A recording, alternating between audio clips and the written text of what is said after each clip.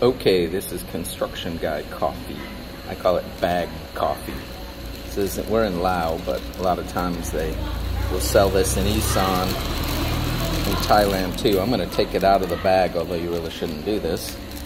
Okay, so they put it in this bag, and in this bag, and then they tie it at the the top. Sometimes they tie it tight, and then you stab a straw through that. And this is it. Okay, it's got a lot of ice. This lasts for like six hours, probably, although. And, and you sort of got to wait because it's so powerful. Oh, I can drain this in an hour, but um, I think they do that for like all day. Construction workers, drivers, this is the power right here.